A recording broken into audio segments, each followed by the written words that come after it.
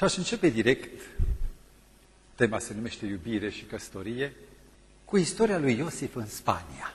Au fost probleme în familie, s-au certat cei de casei și el a trebuit să plece singur, dus de autocare, împotriva voii lui că plângea după casa tatălui său în Spania. Și aici sunt destui potifari. Aș vrea să citim un fragment din Biblie urmărind ecranul. Geneza 39, de la 6 la 21. O să observați că tema noastră seamănă mai mult cu un seminar. Sigur, este temă, avem Biblia în centru, dar va fi ocazie de mărturie a experienței personale, a, a drumului pe care eu am mers cu greșeli, dar scos de Hristos. Gândiți-vă că Iosif se află într-o condiție cu totul și cu totul specială. Ce vedeți acolo? Iosif e fraier. Și că în Egipt ca în Egipt. Nu? În Spania ca în Spania. Ați auzit vorba asta vreodată? Băi, nu suntem în România. Ați auzit? Eu am auzit aici, de când sunt aici. În Spania e ca în Spania. Dacă e voie să mergi cu șlițul de schiat, mergi. În România nu. Înțelegeți? Ori chestiunile acestea cu șlițul, am dat un exemplu care e de totuși, de intimitate. Sunt doar bărbați. Ține nu de ca în Spania, ci de morală, de bunul simț, de valorile care le avem. E o altă cultură. Ce suntem în cultura din România, estul sălbatic? Noi suntem aici, în Spaniolia, și aici altă cultură, Occident. Nu e vorba de intrarea în România, o să veniți și voi românii să intrați în Europa. Noi deja suntem. Da. Aș vrea să vedeți cât de similare și cât de paralele sunt aceste experiențe. Iosif era frumos și plăcut, scrie. Ea, potifăreasa, a pus ochii pe el. Sigur, e o aventură. Și pentru că viața nu are sens, zic existențialiștii, doar aventurile mai colorează, mai dau un nerv, nu? Așa, olea. Cum aș putea să păcătuiesc împotriva lui Dumnezeu? Interesant că el ține de cultura veche, aia românească, din casa tatălui său, că aici măcar că e altă cultură, nu, nimeni nu l-ar fi osândit. Și în toate zilele lui ea îl, îl chinuia și îl strângea și îl, îl zâdăra și îl împiedica în toate zilele. Și băi, șefa, lucrez și eu la o patroană, patroana ca și nevasta lui Potifar. Nu e o jună de vârsta mea, e o matroană, nu? Da. Are și ea agenda ei de necesități. Și în toate zilele se toace, se toace, se toace. Este acea picătură chinezească. El nu a voit. Iosife, te prețuiesc chiar dacă ești în Spania. Și că nu era niciunul din oamenii casei. Vezi? Când e cineva de la adunare, n-aș putea să mă uit la uh, buticul cu reviste Porco. Așa zic unii. Da. Adică n-aș putea, dar când sunt singur, n-ai simțit niciodată îndemn, măi, e curiozitate să, să mor prost, nu? Să ai o pagină. E apucat de haină. Fiți atenți, haina este o imobilizare, este o, cum să spun eu, o determinare. E șefa. Iar el a lăsat haina și a fugit din casă. Vă întreb un lucru. Stăpânul lui Iosif s-a mâniat foarte tare. Vreau să vă întreb, a crezut el ce a spus Madame Potifar? De unde știți? Ai văzut? Îl spinte ca acolo, nu îl ducea. Dar s-a mâniat că îl prețuia pe Iosif și știa că se teme de Dumnezeu. S-a mâniat că i-a făcut casa de, pardon, de băcănie, adică a făcut casa asta a lui să ajungă de vorba slugilor. S-a mâniat că pierde un om. S-a mâniat pe nevastă sa mărâta, care să știți că n-a fost prima aventura ei. era expertă în lunecătorii, în sfărării. Și ca să își salveze onoarea familiei, dar să salveze și pe el, a vrut doar în temniță. Vă spun, sunt recunoscător lui Dumnezeu că Potifar, în felul în care el a reacționat, a arătat înțelepciune. Și a dat ocazia vieții lui.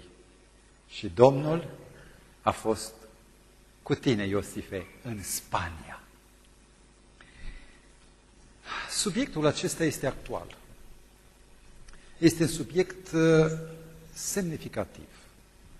Pentru că, la ora actuală, odată cu liberalizarea moravurilor, mi-a spus, uh, și acum sunt mult mai liber cu voi decât cu fetele, vă dați seama, n-am nicio preliște, cu fetele delicat să... Dar vă spun, odată cu liberalizarea moravurilor,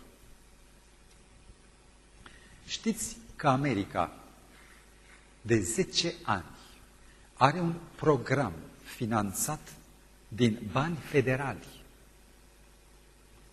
de a extirpa creștinismul, bazele creștine. Mitul poate să rămână, dar morala creștină, reperele creștine, valorile, valorile creștine, familia, respect, cinstea, munca, castitatea, să extirpe valorile creștine, reperele din conștiința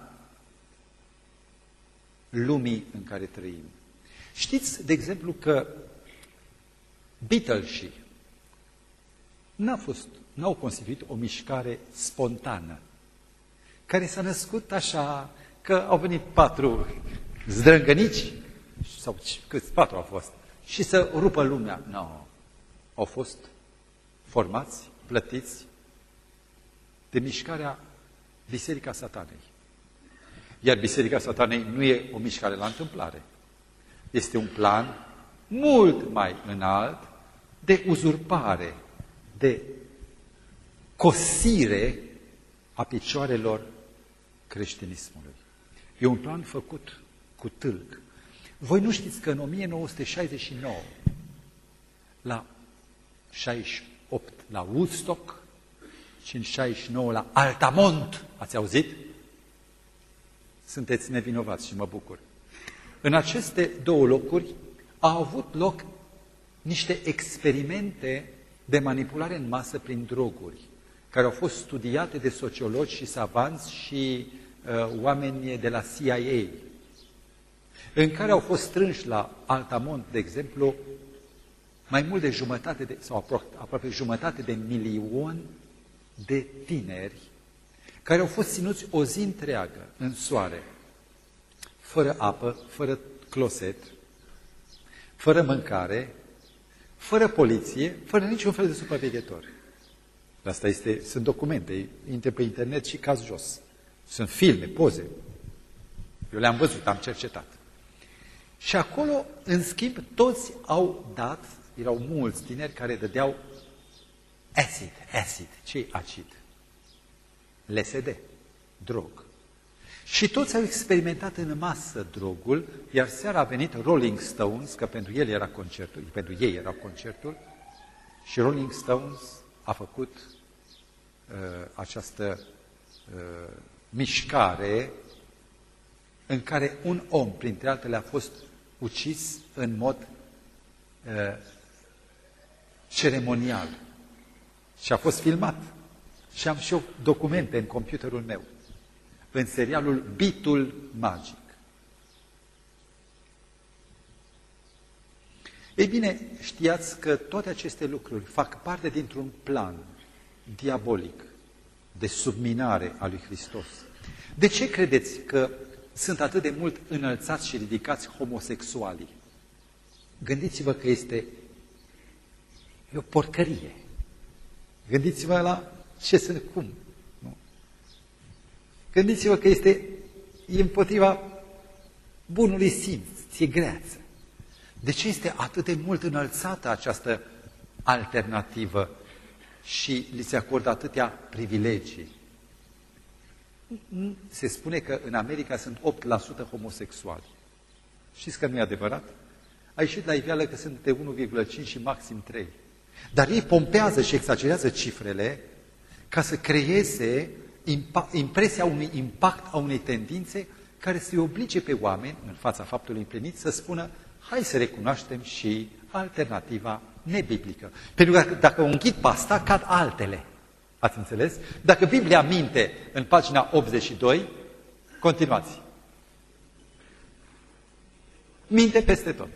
Deci dacă dărâm acest punct, am dărâmat tot, ca la domino. Clac, clac, clac, clac, clac, clac, clac, clac, clac. Și cad toate. Vreau să știți că la ora actuală voi trăiți în Occident. România este încă, încă și încă pentru o vreme bună, prin faptul că există, mai ales în biserică, chiar și în afara bisericii, rezistența. Noi vedem unde a ajuns Occidentul, e deja, se spunea o, o vorbă, un banc, în timpul comunismului.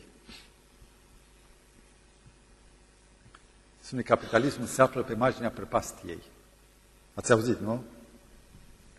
Și ce face? Păi se la noi, ca suntem în fundul ei. Comuniști.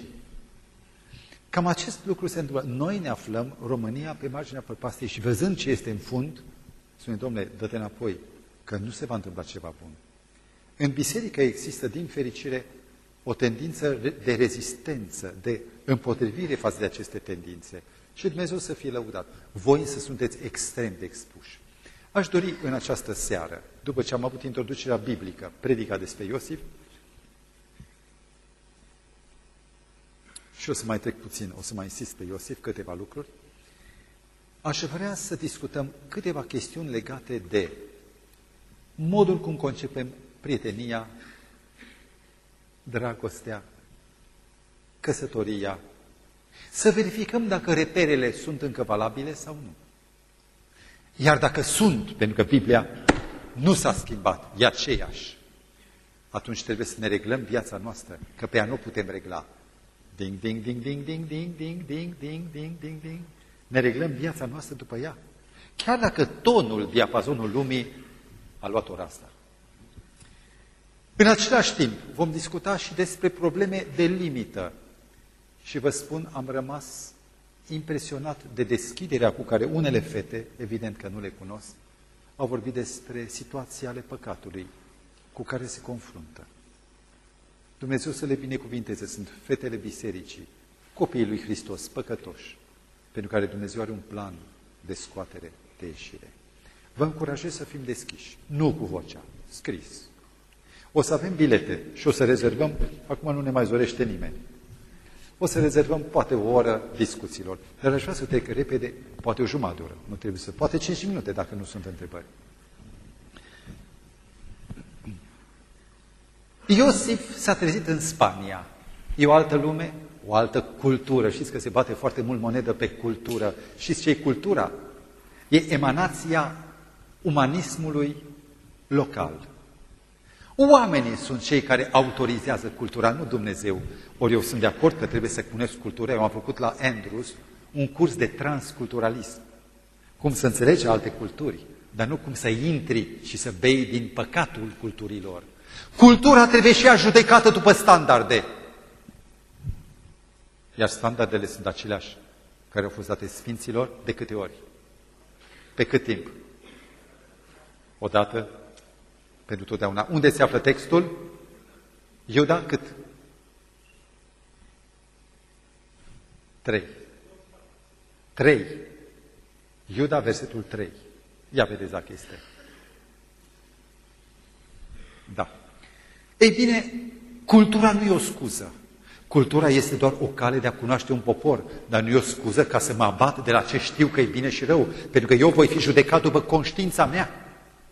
Și Dumnezeu este Cel care vorbește conștiinței mele și trebuie să asculte glasul cugetului mai mult decât de șoaptele culturii. Alte cutume, cutume sunt obiceiuri și alte convenții. Schimbare de autoritate. În țară se spunea că biserica, aici văd că sunt altele, nu mai avem biserica, sunt alți oameni, altă autoritate. Tatăl meu Iacov a rămas acasă cu frații aici, am pe potifăreasa. Nu am grupul de suport. Și Iosif, fără grup de suport, se poate simți vulnerabil.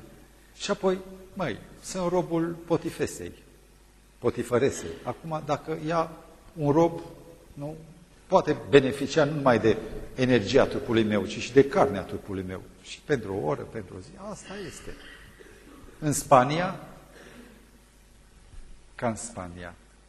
Și la urma urmei, nu este oare supraviețuirea, legea, mai presus de orice, dreptul la viață. Eu cred că mai înaintea dreptului la viață este dreptul la Hristos. Dreptul la sângele lui Hristos și la viață veșnică. Și nu renunț la viață veșnică pentru o ciozvârtă de câțiva ani plină de vierni, care e viața noastră. Sunt în total 14 capitole și un apendice. Să mergem pe aici. Capitolul 1. Fericirea vine primăvara. Asta a fost simțământul meu. Când o să fiu mare, știa, totul era roz și juca, atunci lumea, eu, ea. Surpriza mare este că oamenii cred în această poveste, dar primăvara ea vine de la sine. Că vrei sau nu vrei, în martie se încălzește. Că vrei sau nu vrei să mai fie zăpadă pe munți, se topește. Și apar florile, apar macii, că vine primăvara fără voia ta. Nu același lucru este cu fericirea. Recunoașteți teritoriile, zona. Telorman, parcă. Uite, pantalonele lunea Mărin. Sau Oltenia. Da, parcă e Telorman, e cu pălăria. așa e? Da. Cred că e adventist ăla. L-am luat de pe internet. Deci, dragii mei, fericirea este rodul unei, unor investiții și niciodată să nu puneți egal între succes și fericire. Vine puțin la mine. Hai, sus! Ești un băiat cum aș vrea să am eu un băiat, înalt, frumos, voinic. Băiatul ăsta are succes în viață cum merge, pentru că și un om vrea să aibă un angajat, un patron, un bodyguard voinic, trebuie să aibă un om frumos ca potifăreasa să aibă plăcere când se uită la el. Uh, tu ai din start, ai și un păr lucios, văd, ai din start drumul deschis. Auziți? Ușa e deschisă. Vei avea succes. Succesul nu însemnează fericire. Mari oameni care au succese răsunătoare și au bani și femei, n-au fericire. Nu uitați niciodată. Succesul poate veni prin ce ți-a dat Dumnezeu. Nu? Că ai petale și ai parfum, că ești floare. Dar fericirea este rezultatul, mulțumesc, este rezultatul acțiunii tale. Tu o declanșezi, tu o acționezi, tu o determini.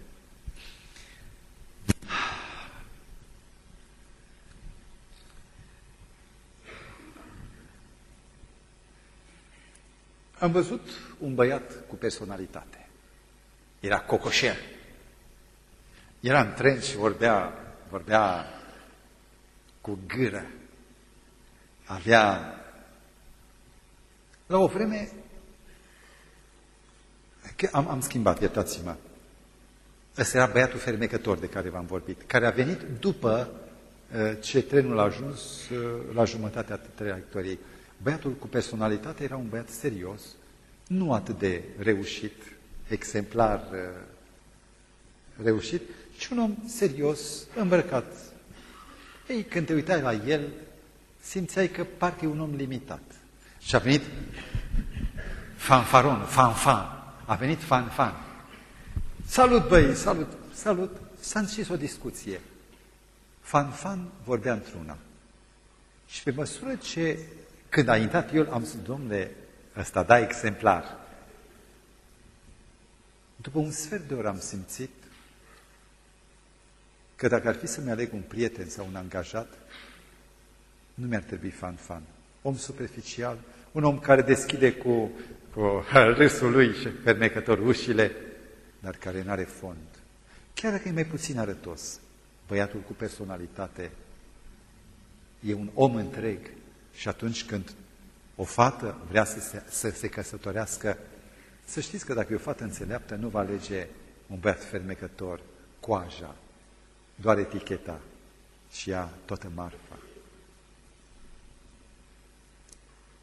Uh, vă rog frumos, uh, ajutați-mă, nenea Richard sau nenea XY, hârtii, avem hârtii să dăm la toți? Poate pe măsura ce discutăm apar idei. Era un teanc, o cutie și aș vrea. Diaconii unde sunt? Să vină la dânsul. Mulțumesc, viteazele. Fiecare ia. Împărțiți unul de căciulă. Adică nu împărțiți la fiecare, dați la început de rând. Un teanc, un teanc, un teanc la capetele rândului și ele, teancul merge până la capăt și ce rămâne se întoarce. Ce rămâne în plus? Așa. Capitolul 2. Eu vă spun din experiența mea, eu am crescut într-o familie de necredincioși. Auzi, nu da la fiecare prietenul meu, dă la cap de rând un teanc. Și ei împart din mână în mână, așa, da. Din mână în mână. În rândul 2, în rândul 3, în rândul... Așa. Auziți? Eu am crescut într-o familie în care nu aveam idealuri veșnice. Și pe la 12-13 ani, 11 ani, poate am fost cam precoce emoțional, am început să mă interesez de fetițe. Sigur, eram nevinovat, habar n-aveam cu ce se mănâncă. Dar am început să visez. Eu am avut neșansa ca să merg la școală cu un an mai repede ca toți. Și acest lucru m-a decalibrat din stat și am fost un complexat. Uh, regret că n-am avut niciodată curajul să mă apropii, nu regret, regretam că n-aveam curajul să mă apropii de nicio fetiță. Și dacă aveam eu simpatie, erau doar pe ascuns, că era rușine. Ce să vă zic? La, 30, la 15-16 ani eram la bunici, la iud și visam după cineva. Nu exista încă, eu plângeam după ea. Aveam momente de dor, de căutare în gol, de nevoia de a fi cineva și credeți-mă că plângeam după cine nu exista. O să spuneți că eram bolnav. Da, eram bolnav de romantism, nu de reumatism. Romantism. Visarea romantică plonjează din realitate într-o zonă feerică. Știți inima cum se numește? Ei, știți că citiți. Cum se cheamă? O ia halunda! Pleacă și te duci cu poliția să o găsești.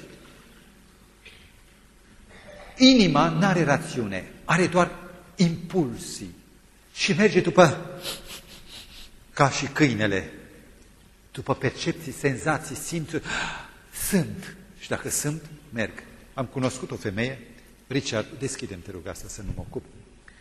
Era bunică, fiți atenți aici. Avea 52 sau 53 de ani. Bunică, avea nepoță. Și a venit la mine fică sa să-mi spună, nu știu ce face mama, mersi. Mersi frumos. Pentru că este înnebunită, îndrăgostită de un tip cu 20 de ani mai tânăr, cu coamă, leu tânăr. Ce să fac el cu ea? Nu erau credincioși. Frecventau biserica. Dar și dați-mi voi să-i spun baba, eu nu sunt moș, da? Îi zic acum așa că ce salvat. Plângea, nu mai putea dormi, slăbea de patimă. Era măritată, bărbatul trăiește. Lui nu îi spunea, îi spunea ei, nu mai pot, vreau să îl am. Și până nu l-a avut, nu s-a lăsat. Și după ce l-a avut, i-a fost scârbă și de ea, i-a fost scârbă și de ce s-a întâmplat, că mai venea la biserică, știa chestiuni. S-a pocăit, Și nu vă spun că a venit la mine să o botez. La subiectul. Inima n-are rațiune. Eu sunt căsătorit. Și de nenumărate ori în viața mea am primit mesaje, semnale neconcrete, dar semnale precise că inima mea s-ar cupla ca niște roți dințate perfect cu A, B până la Z. Și asta e inima. Din fericire, inima e nebuna locuinței și Dumnezeu mi-a dat rațiune. Cel pe care îl vedeți voi aici este un pictor, Goya. Ați auzit de el? Pictor spaniol. El a făcut 80 de gravuri și titlul cel mare este aceasta, este acesta, somnul rațiunii naște ce? Dacă lumea astăzi este monstruoasă, este pentru că rațiunea doarme de mult. Rațiunea este de, scoasă din uz. Oamenii spun, dacă simt, așa simt. Și vreau să vă spun că romantismul a fost un mare blestem. Vreau să vă spun o chestie de filosofie și estetică. Și anume, a existat clasicismul în care rațiunea era pe vârful piramidei. Rațiunea știa ce e bine și ce e rău, morala. Când a venit renașterea, și renașterea a venit, am spus de unde vine cuvântul renaștere. V-am zis? La o temă, cred că am spus.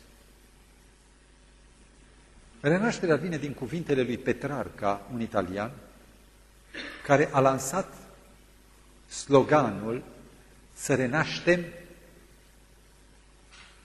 idealurile vechii greci.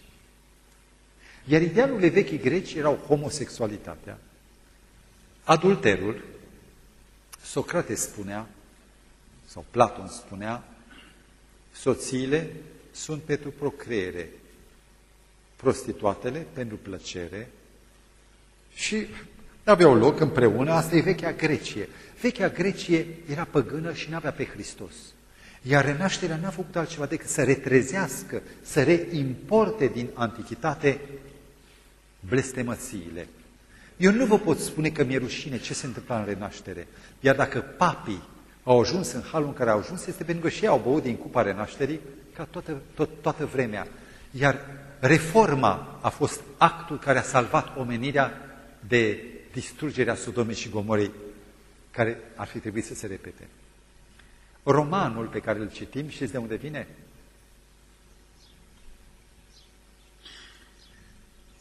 În roman și în romantism e dominația eminii asupra rațiunii. Romanța, pentru că realitatea e urâtă, e tencuirea pe deasupra a realității serbede. Se tencuie cu ipsos. Vă dați seama că această tencuială nu face două parale.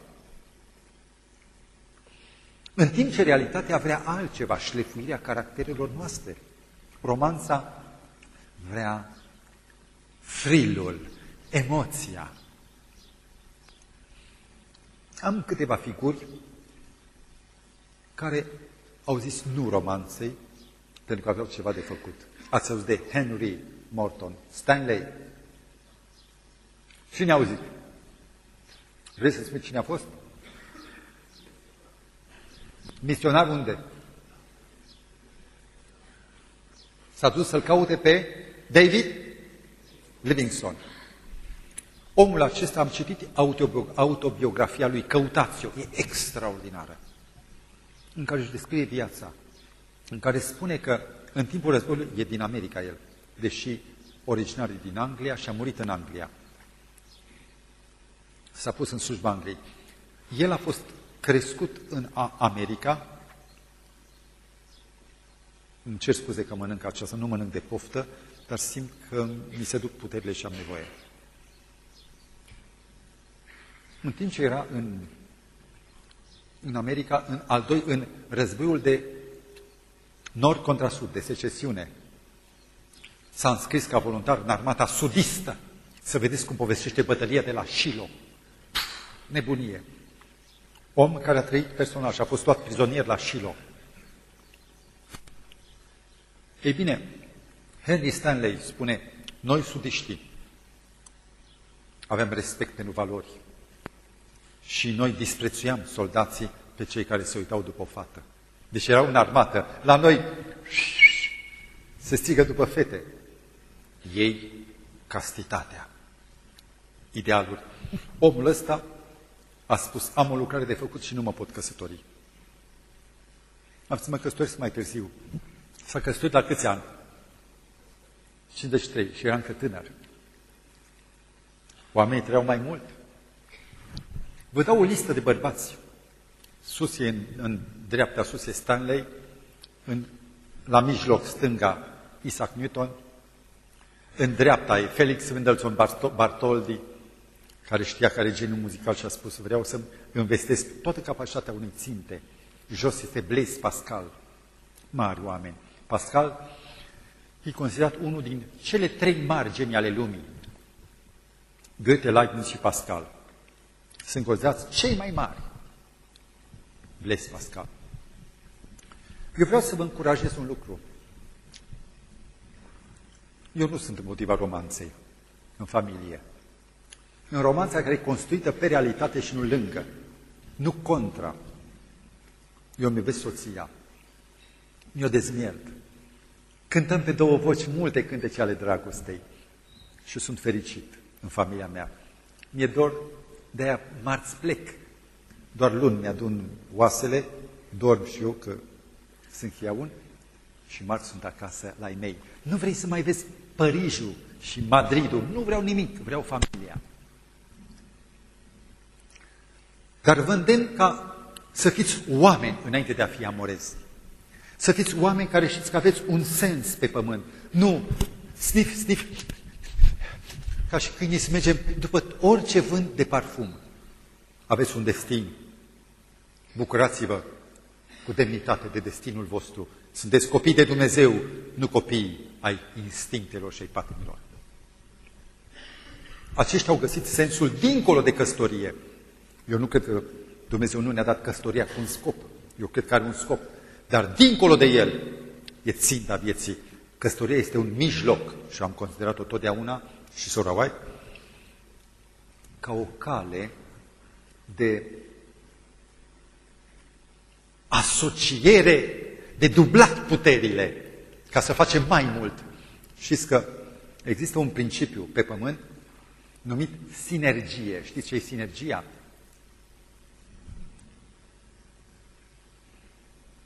Am șapte bucăți ale unui întreg. Uite, ciocolata asta, 1, 2, 3, 4, 5, 6, 7. Exact 14 bucăți. Dacă am cele 14 bucăți puse pe platou, e o ciocolată fără zahăr, ca să știți. Nu mă tăgăduiesc.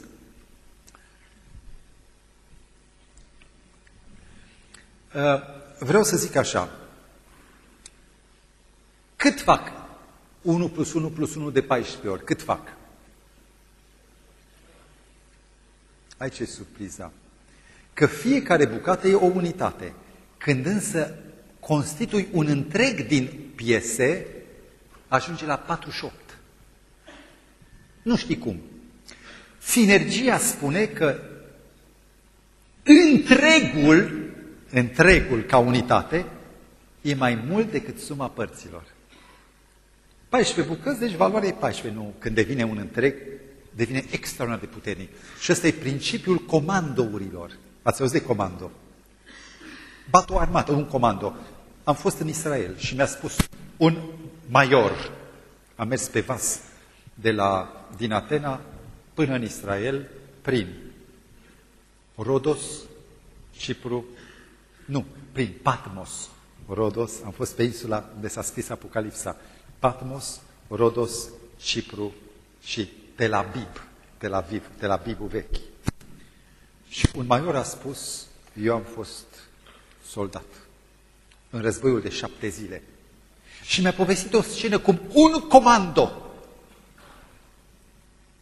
un singur sau două tancuri. Deci vă dați seama, unul, două, poate cel mult trei tancuri, au încercuit o armată egipteană care a fost nevoită să se predea. E incredibil. Cum e posibil? Softul e mai tare decât hardul. Și dacă au știut, au făcut un plan, au blocat cu tancurile punctul de trecere dintre Sinai, Sinaiul, cum era, e un punct la Marea Roșie și pe acolo era drumul de alimentare a armatei. Și a blocat, trei tancuri au blocat acel drum și nu au putut trece nimeni.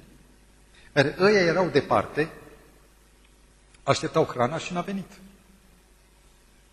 Și când s-a aflat,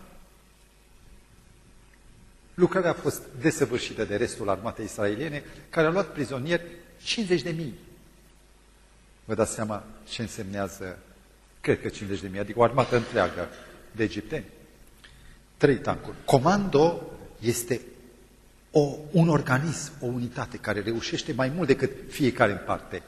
E bine, familia este un comando și atunci când eu m-am căsătorit am vrut să mă asociez pentru ținte, nu ca să gângurim, ca să am un scop și să bat laturile Moabului. Capitolul 3. Vreau să vorbesc puțin despre dragoste.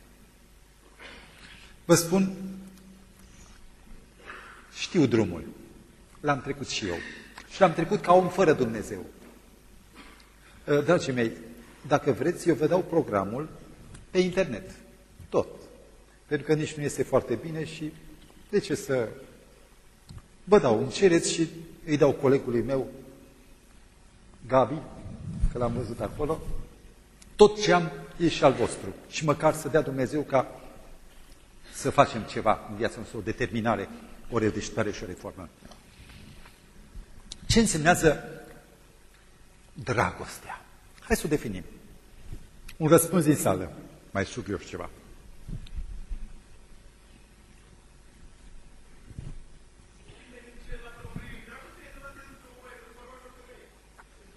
Interesant. Aceasta este o definiție pragmatică. Dragostea e relație între un bărbat și femeie. Hai să vă dau un exemplu. Acum câțiva ani am fost la Crușov. Ați auzit de Crușov? Unde e Crușov? Lângă Corabia. Între Caracas și Corabia. La jumătate e Crușov. E un doctor acolo, doctor Listrate. L-am vizitat și nu era acasă, soția îmi zice, până vine soțul, hai să vă arăt ceva. M-a dus în grădină. Dacă îmi spunea cineva, nu credeam. Era un cățeluș legat de un, cir, un cireș mare, pom mare era, gros, cu un lanț care avea o rază de alergare. Un cățeluș de la cu pufos, lățos. Rău de gură. Dar după ce a depășit, a venit stăpâna, se tot trecea cu lanțul spre curtea de găini. Din curtea de găini era o gâscă sau gâsca, nu știu. Nu mă pricep la genuri. Gigaga! Hau, hau, hau! Gigaga! Și între cei doi este o dragoste atât de puternică, încât nu este moment mai fericit decât când cei doi sunt împreună. E, cum? Păi sunt feromoni care gâsca nu le are. Câinele merge pe alte principii. Între câine și cățelușă. Nu merge de câine și gâscă. N-are ce face cu ea. Și fii atent. S-a dus la curtea de păsări și a deschis, da, a oprit doar gâsca sau gâscanul ăla sează. Măi, oameni buni, câinele se întinsese în lanț, era deja ridicat pe două picioare. Pardon. Și gâscanul vâș, vâș, vâș, vâș din aripi, igaga, drept la el. Și uite așa stăteau.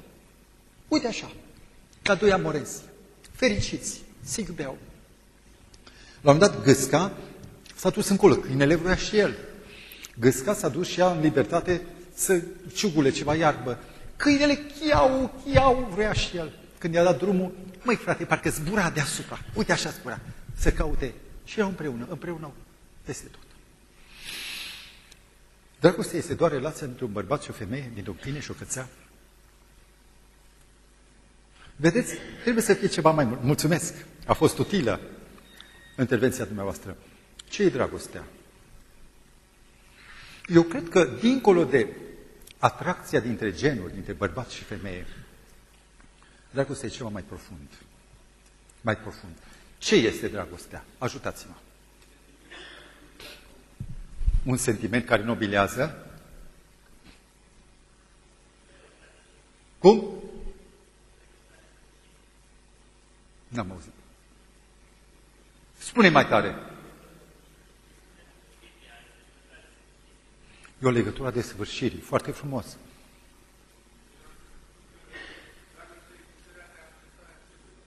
Da, observați că dragostea apropie ființe, nu apropie sexuri. Dragostea sexului e o dragoste de hormoni. Și există un ciclu. Când eram pastor în Dobrogea, în unele luni, mergeau cu, nas, cu degetele la nas. Mirosea țap. Era ciclu țapului. Și în momentul când mirosul ăla se cheamă feromon, deci un miros, un hormon care creează reacția de angajare din partea căpriței, toate caprele trăiesc evenimentul ovulației ca să facă posibilă înmulțirea. Dar am să vă spun un lucru. Dragostea hormonală mai încă una să catai și aia. Dragostea hormonală e o chestiune destul de secundară. Ea vine, atenție, și pleacă după niște legi, nu ale alegerii mele și ale sufletului meu, ci după niște legi biochimice pentru procreere fără distinție. Iubirea nu e îndrăgostire. Dragostea hormonală manipulează câinii.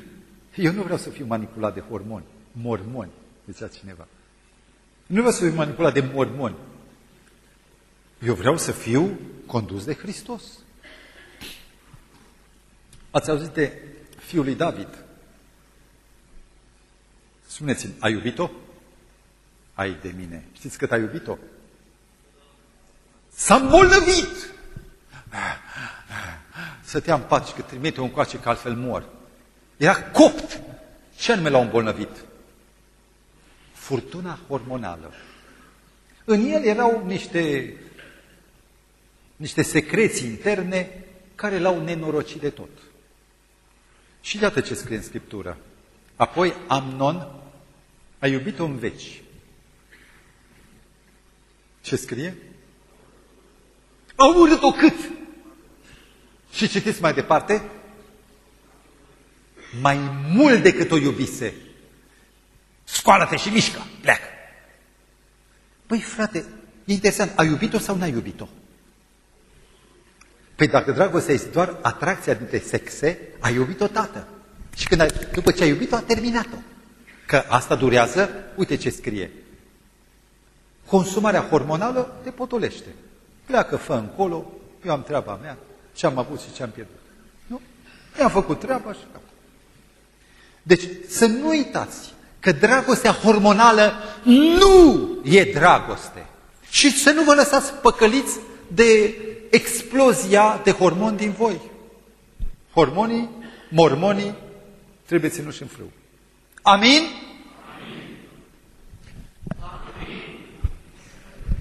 Amin, Amin tată. Ei bine, dragii mei, să fie foarte clar că asta nu e dragoste. Și dacă tu te vei căsători cu o fată doar pentru că îți dă ghes hormonul, eu cred că ar trebui să te gândești de două ori. Și ar trebui să-ți dai seama că tu ești mai mult decât un câine, mai mult decât un țap. Capitolul 4. Avem 14 capitole.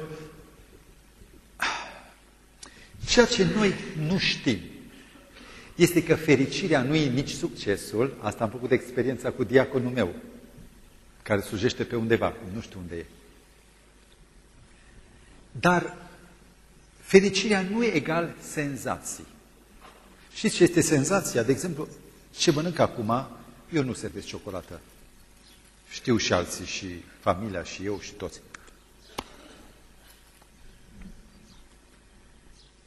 Pentru că îmi dă o senzație foarte plăcută. Eu acum o mănânc din motive raționale. Nu pot să spun că nu-mi place. Nu pot să spun că nu-mi place. Dar nu mănânc, pentru că aleg să nu mănânc. N-am mai mâncat ciocolată de ani de zile. Și am mâncat-o și pentru că nu are zahăr. Deci vreau să rămân consecvent hotărârii care am, am, am luat-o. Nu pot spune că în alte situații am făcut un drum foarte lung de la, din Italia până în uh, București cu mașina. Eram terminat. Și am luat ciocolata care, eu nu iau cafea. Ciocolata are teobromină și teofilină. Sunt niște stimulente mai blânde decât cofeina. Și cafeaua nu o iau, orice ar fi. Nici de aia, cum se cheamă, taurină sau Red Bull, și că bivol roșu.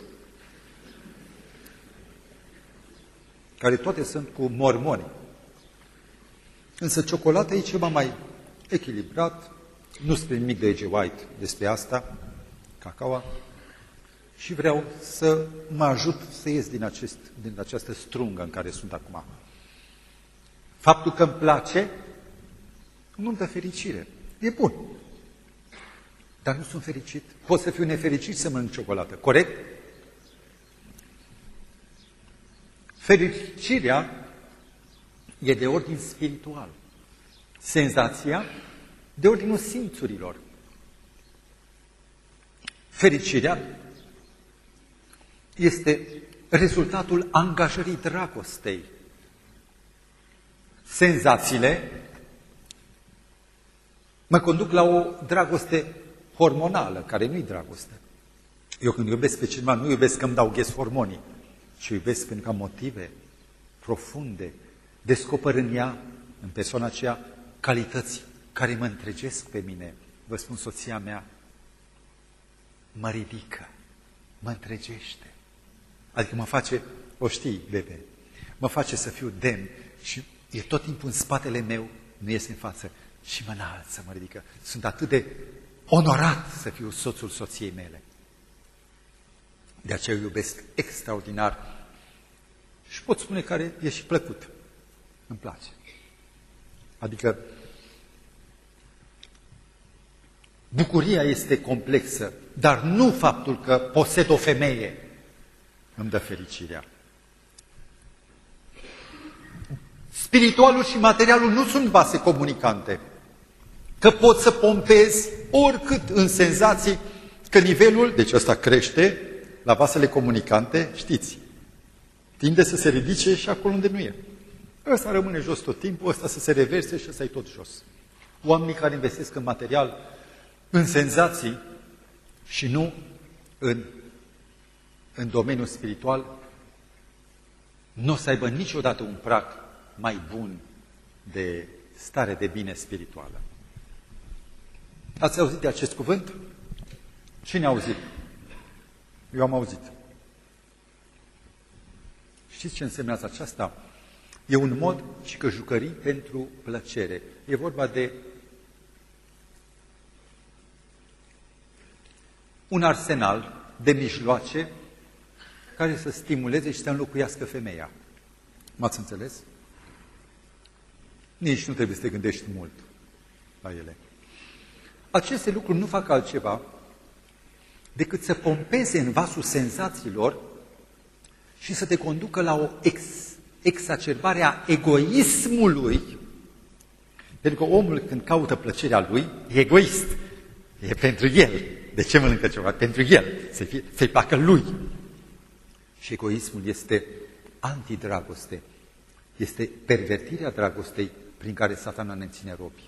Planul lui Dumnezeu este răstignirea, antiegoismul, să se lepede de sine, să-și ia crucea și să mă urmeze. Noi ne aflăm astăzi într-un mediu foarte precar, în care omul și senzațiile și egoismul sunt pompate și gonflate ca Michelin, acele, acele păpuși gonflabile cu ineluri, inele de pneuri, care se înalță, se ridică. Asta e omul, e gonflat în patimile lui. Și aceste lucruri nu fac altceva decât să ne ducă la dis, disprețuirea, la devalorizarea persoanei pe care Dumnezeu ne-a dat-o să o iubim ca pe persoană, nu ca pe o jucărie toi, jucărie pentru mine. Eu mă servesc de ea ca de un plastic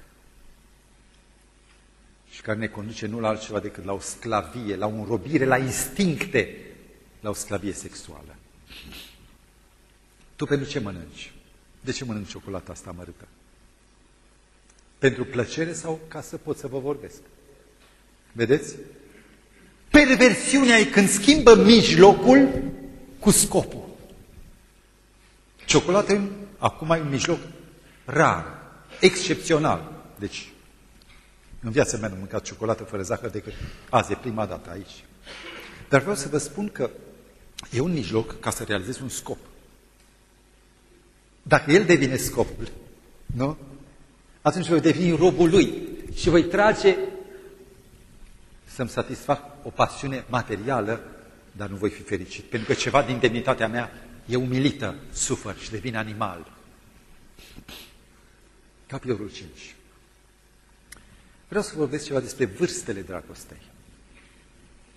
Și am să încep cu o istorie care deja este pe ecran mai încolo, dar nu, o iau de la început. Eu când v-am spus că am făcut 11 clase, am mers cu 6 ani, abia am prins 6 ani la școală, la data aceea 7 era obligatoriu, eu aveam 6. La 16-17 ani eu deja eram student. Și spre marea mea uluire, un coleg de-al meu de anul întâi, Hârsu, a venit cu bibilica. Pentru mine femeia, fata era un tabu, nici nu știam, nu știam, că la noi în casă am avut doi băieți și despre fetei rușine și nu am vorbit. Și numai ce visele și atunci nici nu citeam, nici, mă rog, păi a venit cu ea de braț și că e nevastă mea și au căsătoriți. Bravo, însă uite că totuși sunt și eu destul de mare, aș putea și o să mă însor. În anul 3, Hârsus a, a divorțat. De ce?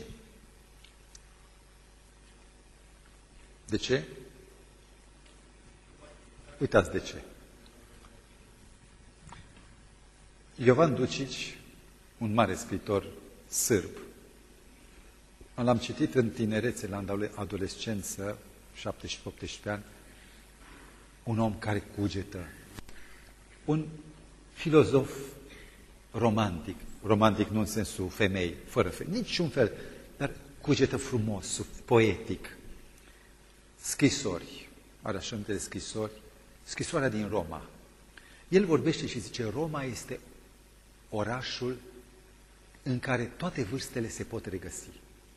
Când la 20 de ani treci prin Roma, simți parcă și vezi umbrele sutelor miilor de curtezane care au umblat pe acele străzi. Trăiești ceva din, din fiorul emoțiilor. Când treci la 30 de ani prin Roma, o vezi altfel. Vezi locul în care s-a revărsat slava marilor cuceritori, ai marilor militari, ai eroilor. Când la 40 de ani treci prin Roma, descoperi, vă uitați la mine, da? Nu la el. Când treci prin Roma, la 40 de ani, vezi vestigile marilor filozofi. Petroniu, Seneca, ăștia care au fost mari și care au marcat Roma. Iar la 50 de ani vezi urmele martirilor, ale sfinților. Interesant, Roma este orașul tuturor vârstelor, spune autorul. Ei bine, dragostea are și a vârstele ei, cu dimensiunile ei specifice. Și ascultați. Știați că vârsta își schimbă preferințele și criteriile. Și eu vorbesc, de exemplu, despre în hainele mele, la vârsta de adolescență, 13-18 ani, caut blugi, că grozav. La 19-23 caut haine excentrice, așa să șocheze, nu blugi, ci tare cu ascuțiși. La 24-27, teneția a doua, caut eleganța. Sunt într-o altă lume, mi-a crescut mintea. Nu mai umblu nici excentric, nici cu blugi. E o altă vârstă. Iar în uh, maturitate, de la 28 în sus, caut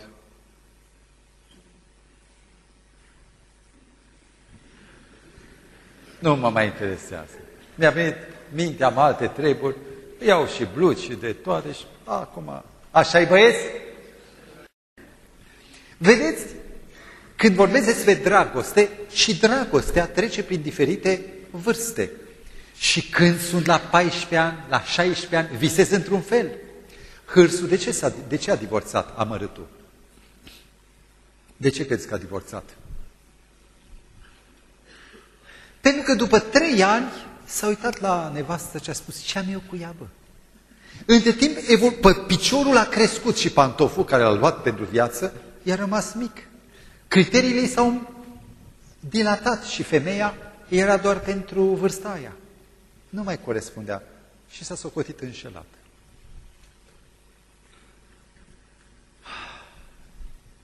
Am să vă spun un caz.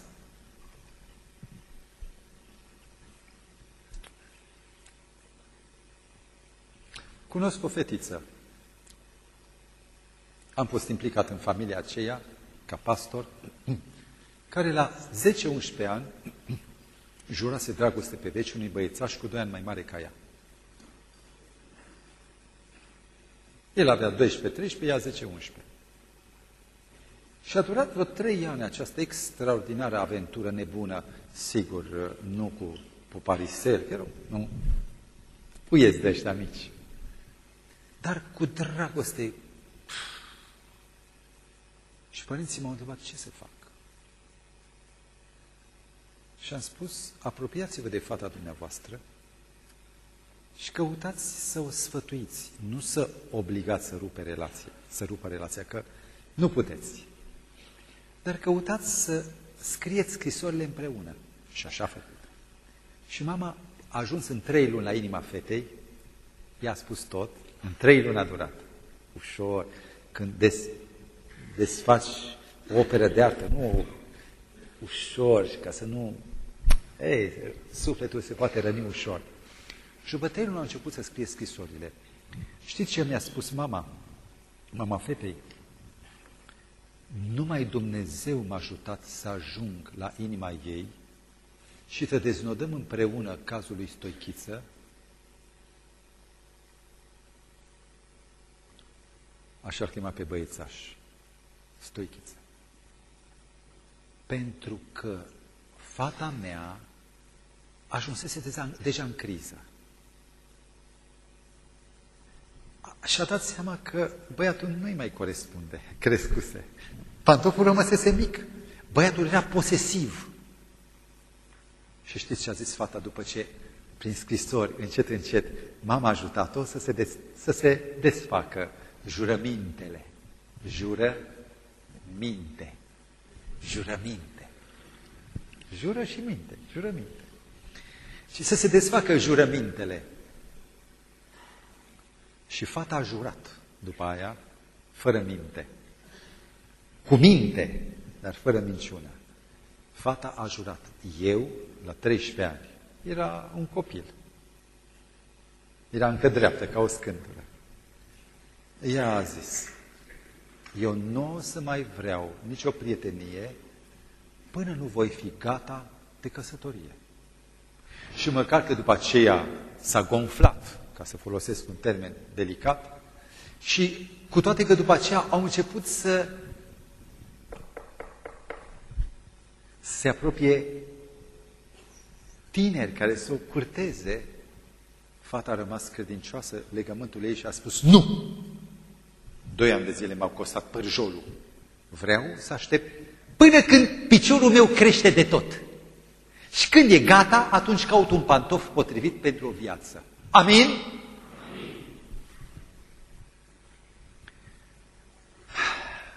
Și când e vremea, când crește pantoful de tot? În cântarea cântărilor sunt trei texte. Ce nu stârniți dragostea, ziceți. Păi a stârni înseamnă să o faci să vină. Și dacă tu stârnești, vine. De ce zice să nu stârnești ca să nu vină? Păi nu se contrazice? Ha? Fetele au sezizat imediat și au zis, nu, e o desebire. A stârni e că o fac eu să vină și când vine ea, Domnul o face să vină. E o deosebire? Când eu o fac să vină, o fac pascunsa, cum făcuse stoichiță. Când vine ea, mă manifest pe față și în primul caz mi-e rușine, în al doilea caz mă onorează, mi-aduce cinste. În sfârșit sunt un om întreg. Cum putem stârni dragostea?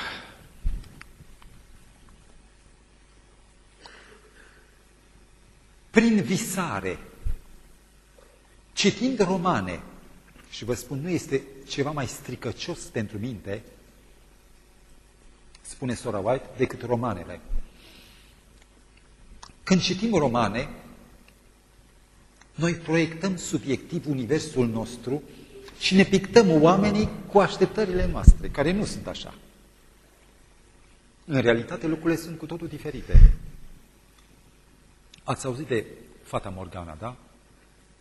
O vezi, dar nu e. Ca Neminescu. Noi o vedem și nu e.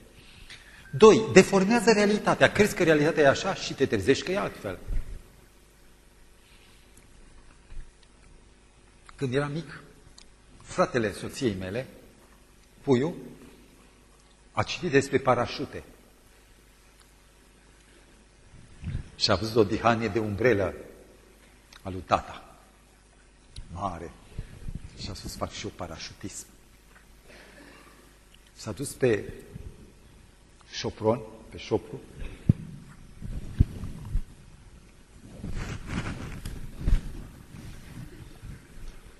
și a aterizat lin ca un fulg. Ha? Și ce-a făcut umbrela? S-a dat peste cap și a dus ca un sac. Noi ne reprezentăm ca tineri altfel realitatea. Când urcă un adolescent la volan, miau, miau, te bași și ești grozavul lumii și nu știi că este o cutie, uite așa te faci. Mașina este un sicriu zburător. Și dacă nu ai înțelepciunea să te păzești de tine și de ea, ești nenorocit. Spune un text, visarea transformă lucruri. Într-adevăr, când visezi, nu oameni. Visarea mea nu transformă un om. Eu mă gândesc la ea, visez, visarea mea nu o face altfel. E tot așa. Eu doar am impresia și mă înșeală. Capitolul 6. Aici vreau să vorbesc despre psihologia inversă. Eu n-am știut multă vreme că sunt două feluri de psihologie. Psihologia fetei și psihologia băiatului. Psihologia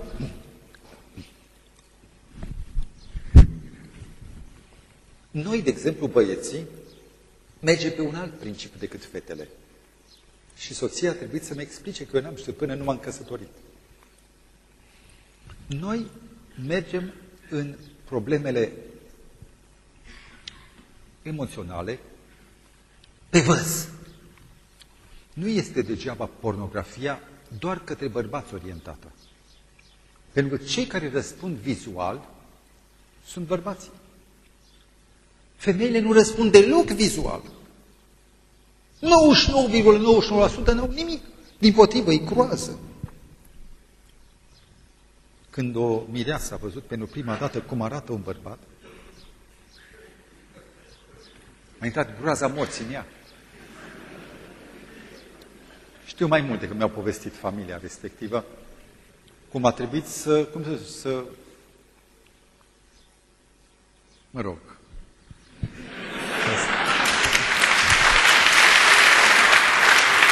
E o istorie lungă. nu penibilă, e o istorie cu urmăriri, cu lasă-mă, mă duc la mama, stai pe loc, nu, dar îmbracă-te și așa mai departe. Deci, rețineți, psihologia noastră este vizuală. E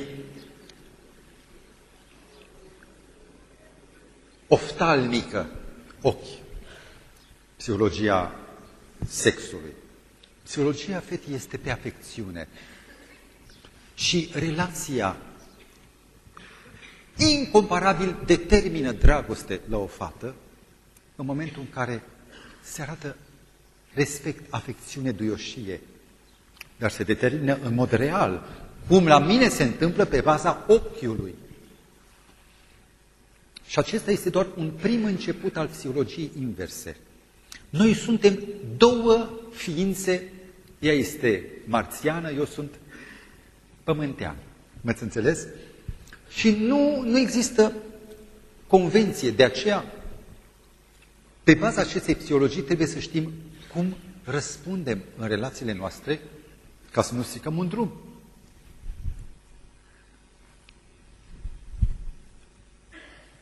Aș vrea să vorbesc ceva despre îmbolnăvirea imaginației.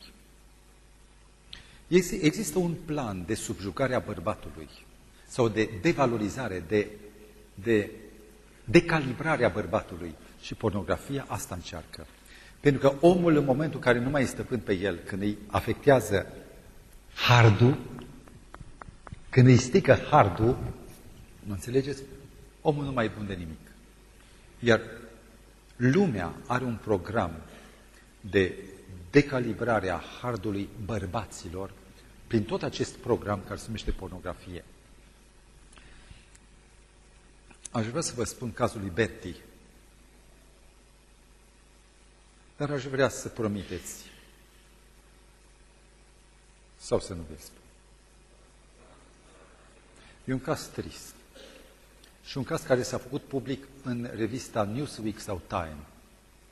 Am căzut jos. Biserica, conferința generală ne-a trimis-o și nouă. Vă amintiți de serialul lui Dwight Nelson? Vă amintiți că erau doi tineri care au făcut introducerea prezentările. Cine era? Șasta, fata și băiatul. Era un negru frumos, inteligent, Betty. Un băiat echilibrat, un băiat... Ți era dragul să-l vezi, un negru frumos. Dragii mei, am pe internet. Cine vrea, dar nu-i nevoie. Articolul din Time. Berti s-a dus la conferință și a spus fraților, salvați Ce s-a întâmplat? Eu sunt dependent de pornografie. Căsătorit cu doi copii, când ajunge în biroul pastoral, mâna lui acționează pe mouse și porno. Porno. Porno.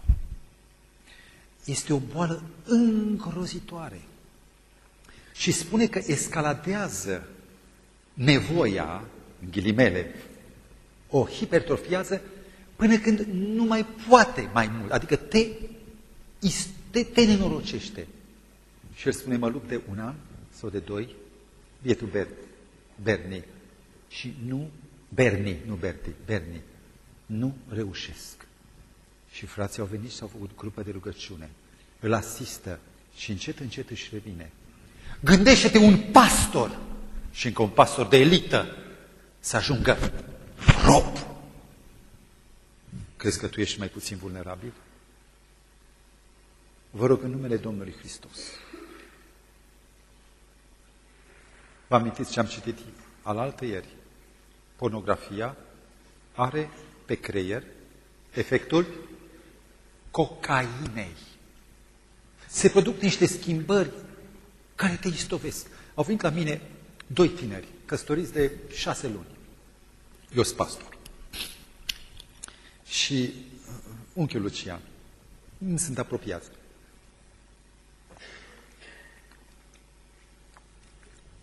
Unchiul Lucian. Ce? Vrem să vă întrebăm ceva. Fata vorbea. Soțul era lângă ea, băiat bun, băiat bun, inteligent, intelectual amândoi, Vrem să vă întrebăm ceva. este bine, e bine ca să ne uităm la casete porno, pornografice, doar în vederea stimulării relației noastre intime. Fata vorbea. Și eu am dedus din asta că băiatul trăgea și ea, că fata nu e stimulată vizual, l-am spus. Pentru ea este o groază. Și atunci am spus, dragii mei, aparent e bine, dar în fond, porunca spune, cine se uită la o, ziceți, la o femeie, nu la nevastă, la o femeie, nu la femeia lui neva, la o femeie alta, să o poftească, în momentul în care eu mă apropii de nevastă mea, dar eu sunt cu aia altă în minte, eu cu cine am relația? Tu vreți ca soțul să fie în adulter în timp ce te pupă pe tine, să se gândească la aia altă în minte? Și vă spun că atunci când vezi ceva și soția nu e capabilă de meseria alte, atunci o să zic, băi, eu vreau așa, nu? Ce faci? Și apar probleme, vă spun. Să ne ferească Dumnezeu de această groapă în care colcă viermii și demoni. Dumnezeu să vă ferească. Vreau să mai spun încă un lucru. Fetele nu știu și nici nu o să știe, că noi nu o să le spunem. Amin? Amin. O să vă văd de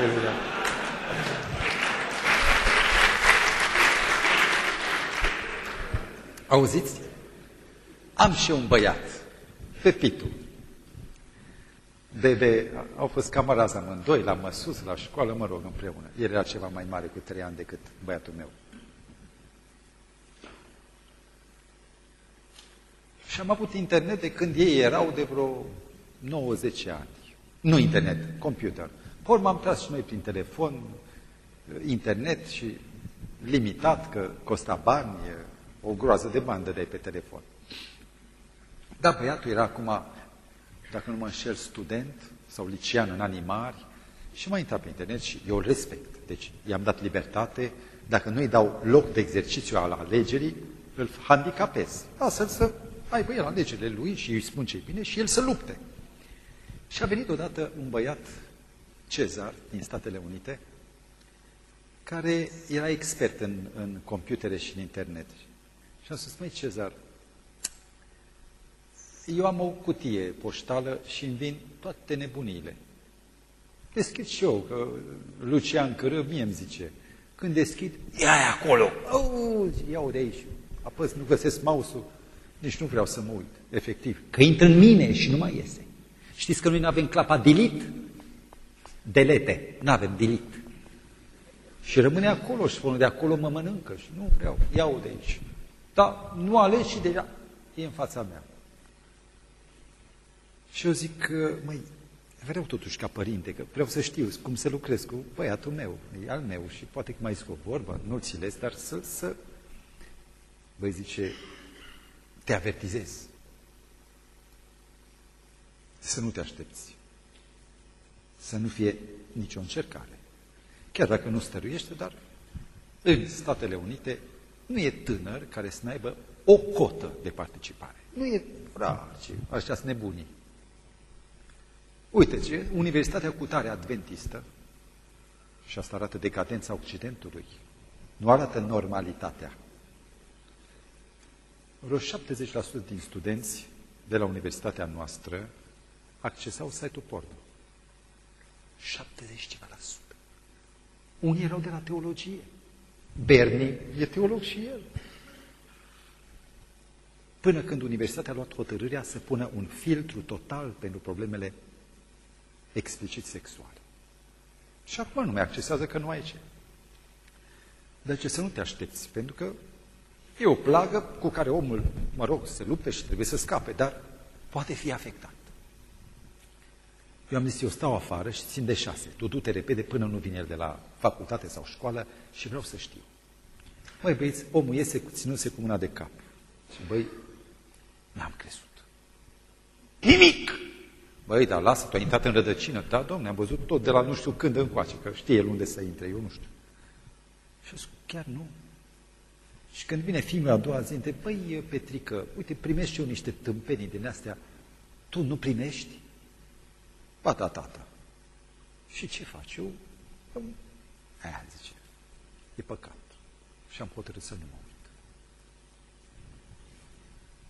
Felicitări. Te scutește nenumărate nenorociri. Curiozitatea, dar cum e fructul ăla? Că e oprit.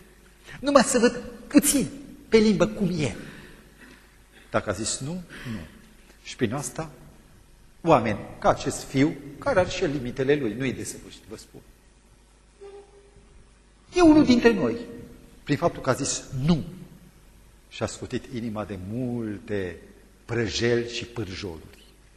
Și doarme bine, e fericit, își pupă nevasta că e insurat, se iubesc ca în luna de miere. N-am auzit ceartă familia lor. Sunt căsătoriți de 3-4 ani. Dacă nu este altcineva.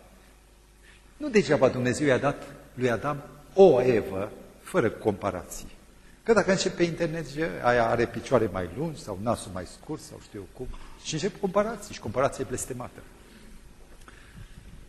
Modelele false care le vedem pe internet și care le citim în romane, ne creează un mod de stârnire a dragostei, dar care sunt modele false. Atenție! Vampa este doar un model de joacă sexuală, nu de familie. E cârligul, pardon, e cașcavalul din cârlig, râma din cârlig, dar care te robește. Capitolul 7. Vă rog, aveți hârtii dacă aveți o nevoie. Continui cu psihologia inversă și aici este o problemă foarte, foarte importantă. Și trebuie să vă spun că aici am făcut multe greșeli, dar am făcut din neștiință. Principiul rolurilor inverse.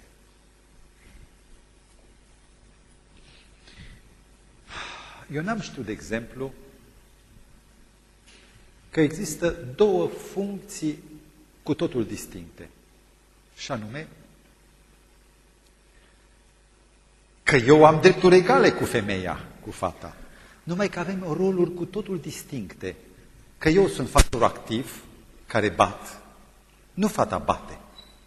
Și când eu, din greșeală, bat în ușă, fata deschide ușa, are rol pasiv și orice ciocănitură, ce înseamnă? El e. Eu bat că vreau să întreb dacă prunul ăsta face roade sau nu. De ea zice, prunul e un pretext, el vine pentru mine. Și în momentul acesta, cea mai mică aluzie, un zâmbet, și eu am fost fraier, vă spun, soția îmi spune, Lucișor, multe greșeli ai făcut. Și am făcut, că nu mi-a zis nimeni. Eram atât de prietenos cu fetele și toate erau așa de cuminți și se uitau la mine ca la îngerul Domnului. Iar eu juram și le-am spus sau toate, fetelor, eu rămân ca Pavel. Și zicea, da, da, dar se uitau prin mine. Mă înțelegeți? Eu credeam că pricep, dar ele interpretau orice fel de apel, orice fel de mărturia simpatiei ca o promisiune și încă cât de mare, totală. Vă spun, uh,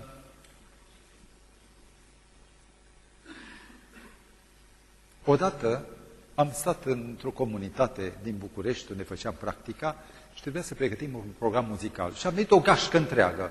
Eram doi băieți și vreo patru fete la oameni acasă, părinți, soț, soție. Și am, a durat atât de mult încât eu nu aveam cu ce să mai merg acasă. Era 12 noaptea și ne-a Vică, tatăl familiei, avea patru fete, a spus, domnule, rămâi în camera aia, separat. Dimineața m-am sculat, m-am dus la biserică și m-am dus acasă. N-am avut nimic, n-am discutat cu nimeni de vorbă, nici noaptea, nimic. Faptul că am dormit în camera, în casa lor, a spus, Viorico, e pentru tine. Și Viorica a spus, da, eu cred că a dormit la noi.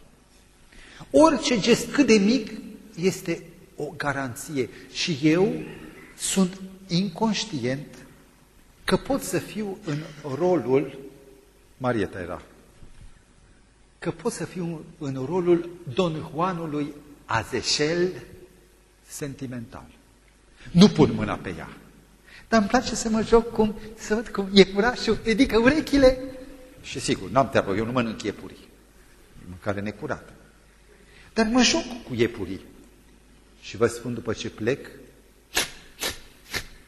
câte luni de zile mi-a zdrobit sufletul, m-a disprețuit și a pătut joc de mine. Atenție, dragii mei, n-aveți voie să vă jucați cu sufletul vostru. Dacă ar fi sora voastră, sau dacă voi ați fi o fată și cineva s-ar juca și ar face pantofiorii și v-ar pune la loc în cutie, cum v-ați simți? Și de câte ori noi n-am știut eu, Dumnezeu să mă ierte, și Marieta să mă ierte, sau Viorica, dar m-am jucat și că eu nu fac altceva decât îmi încerc uh, motorașul. Să văd dacă prinde viteză, cum reacționează și fata e doar o pistă de încercări. Nu am nimic cu ea, nici nu-i spun, nici nu-i dau de înțeles.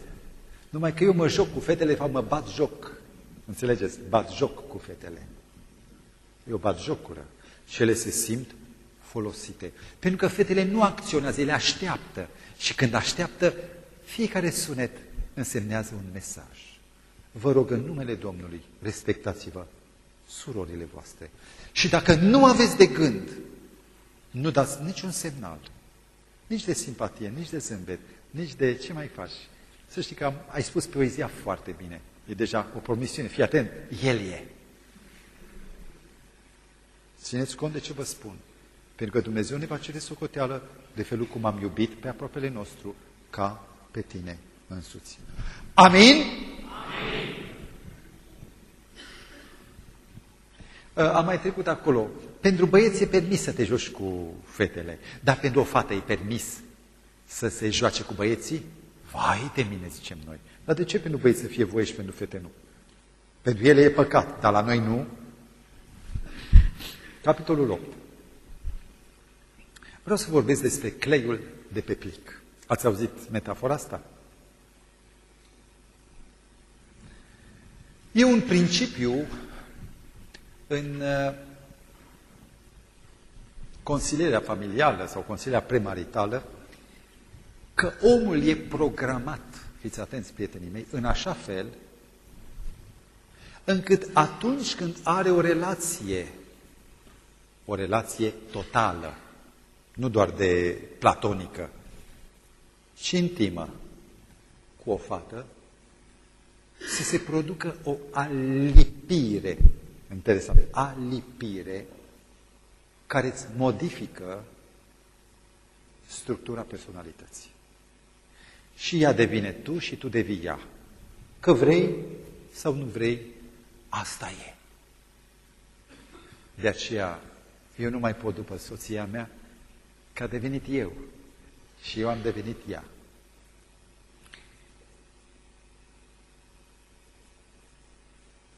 În momentul în care, după A, vine ce? Ce literă? B. Și după B ce vine? Se întâmplă ceva cu mine, mă stric.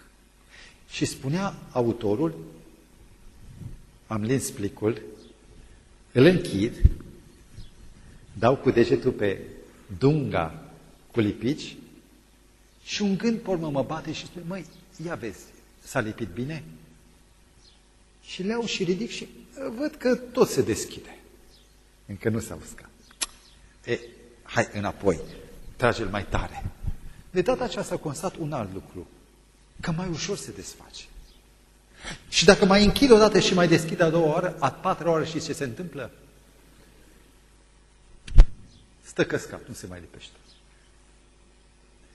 Pentru că e făcut sufletul să se alipească și să nu se tot joace de-a lipitul, deslipitul, lipitul, deslipitul, pentru că atunci se pierde lipiciul, se strică și poți să-l arunci. Dumnezeu a făcut ca noi să răspundem legii unicatului, în care comparația, băi, n-a făcut și Dumnezeu așa? i-a făcut lui Adam. Una blondă, una brună, una grasă, una slabă, una ochi verzi, una ochi albaștri și pe urmă a zis, ei, Adame, alegeți o nevastă. Așa i-a zis Dumnezeu? Păi dacă ar fi zis așa, știți ce a făcut Adam? Și aia, și aia, și aia, și aia, și aia, care? Și ar fi rămas nesurat până azi. Și noi n-am fi fost pe lume. Pentru că problema comparației, și pot să vă spun ceva de criza genților, m-am dus să cumpăr odată, nu, cred că am scăpat o, o foaie, sau va apare în altă parte, com, uh, ideea genților. Uh, m-am dus, nu mai aveam geantă, eram pastor undeva prin București și mi s-a rupt, trebuia să iau, să reprezint biserica, o geantă, o geantă, de la magazin Unirea, popular, nu de la fashion, nu știu cum. Și am spus, sărut mâna, doamnă, o geantă. De care? Și că, aia. Mi-a dat însă de pe raft, nu de desubt. Și am luat-o, am descuiat-o, am văzut că au mai pipăit-o și alții. Și eu zic, nu cum, îmi place, dar nu cumva are un defect ascuns și de-aia e pe raft. Și eu spun, mai aveți încă un exemplar de același tip ca să pot compara? Da, zice. Și din dorința de a, am, a mă convinge, a scos două. Și acum Adam era cu trei. Acum, care are defectul ascuns? Și care e bun? Doamnă, mai aveți una? Când mi-a scos-o pe a patra, chiar că n-am mai știut să aleg. Și când a intrat ea uh, în spate, am tulit-o. Le-am lăsat toate acolo. Deci vă spun, cu cât sunt mai multe opțiuni, cu atât alegerea e mai grea. Pentru că se ridică noi și noi probleme. Și de aceea Dumnezeu a făcut lui Adam câte neveste? Șapte, numărul de săvârșit. Una. Și Dumnezeu i-a dat lui Adam legea unicatului. Și vreau să vă spun un secret. Pentru mine, deși eu am fost în lume și am avut uh, diferite încercări, îi mulțumesc lui Dumnezeu. Îi mulțumesc lui Dumnezeu că soția mea a fost prima femeie pe care am cunoscut-o. Și lucrul acesta o face incomparabilă. Și nu iubesc pe niciuna ca pe ea. De ce? Că nu mai am alta cu care să compar. Dumnezeu a făcut așa ca noi să ne lipim odată și să rămânem pe veci. Și vreau să mai spun aici o întâmplare dură de tot. Am cunoscut o fată. Era membra bisericii mele dintr-o localitate, deșteaptă fată, plăcută fată, corpolentă fată, asistentă medicală și lucra într-un spital și directorul, un tip tânăr, 36 de ani, băi, o aprecia extraordinar. Adventistă, serioasă, plăcută, optimistă și tot mergea pe la ea. Și la un moment dat vine fata la mine și îmi spune, unchi Lucian, cum vedeți relația asta? Era în preajma Revoluției, lucrurile se schimbau, el zice că ține la mine, îmi spune că mă apreciază mai mult decât pe oricare, dar cu religia ce are? Păi, deocamdată nu zice nimic. Și tu ce ai zis? Mi-am spus că eu, eu nu mă pot căsători și nu pot discuta decât de unul care e consacrat lui Dumnezeu. Și am spus, știi ce? Uite, aici un set de studii biblice, dă să studieze singur. Și dacă are ceva să mă cheme pe mine. Nu m-a mai chemat, dar Ancuța, fata asta, mi-a zis, și ce mi-a zis directorul? Ancuțo, ești singura fată sau femeie pe care te-aș alege azi de nevastă. Și știu că cu tine aș fi fericit. Dar am o problemă. Și am întrebat care domnule director, era director, nu Jane, domn director. Și îl spune, nu mai pot să mă lipesc de tine. Păi spuneați că mă iubiți. Te iubesc, dar nu numai pe tine. S-a jucat cu plicul, cu deslipitul, lipitul, deslipitul și nu mai poate lipi. Și nu e singurul caz. Am mai întâlnit un om extraordinar, un american, Nelson îl chema. Băi, de 2 metri și ceva. World class la fotbal american. Care a avut claviculă ruptă, splina scoasă, a avut toate, toate. Nebunia aia de fotbal american a trecut prin toate. Și l-am întrebat Nelson, s-a pocăit omul, s-a consacrat lui Dumnezeu, necăsătorit și ce necăsătorit. De ce? Și am o problemă. Și tatăl său mi-a spus, s-a învârtit atât de mult cu fetele, încât el nu mai crede în el, în sine, că poate să stea doar cu una. Și atunci mai bine fără niciuna. El și-a dăunat sufletului. În numele Domnului, dacă n-ați făcut până acum experimentul unui joc total cu vreo fată, mulțumiți lui Dumnezeu. Iar dacă ați făcut-o, Dumnezeu are remedii și ne poate repara. Nu va fi ca prima dată. Vor fi sechele, dar mai bine cu sechele decât mort. Armonie contra frumusețe. Ce cauți, băiatule, atunci când privești la fete? Păi, caut atenție. Am văzut nenumărate fete frumoase, nemăritate și nenumărate fete mai puțin beliciuni, bele, adică mai puțin strălucite, măritate și iubite de soți. Știți de ce? Vreau doar să conștientizați că noi nu căutăm vitrina, noi căutăm armonie. S-ar putea să fie o fată nu atât de frumoasă, dar care să fie plină de armonie și de ceva cald, care, care să te mobilizeze. Fata mea nu e o frumusețe. E plăcută, dar nu e...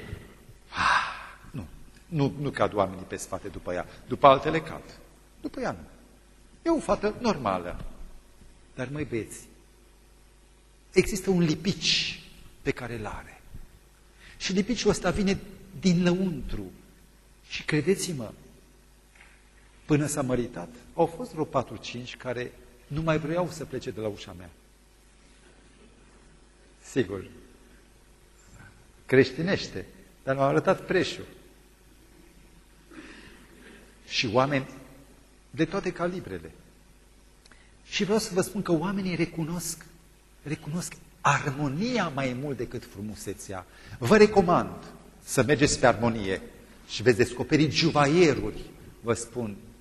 Mi-e milă de voi că sunteți orbi și chiori. Am văzut juvaieruri în adunarea asta de fete. Eu nu sunt tânăr și ca voi. E norocul vostru. Nu-mi doresc. Sunt atât de fericit cu soția mea, doar vreau să vă vorbesc pe limba voastră. Armonia e o chestiune care vine din spirit. Ceea ce face farmecul unui om să e nasul, lungimea nasului. Culoarea sprânșenelor. Nu. E bunătatea lui.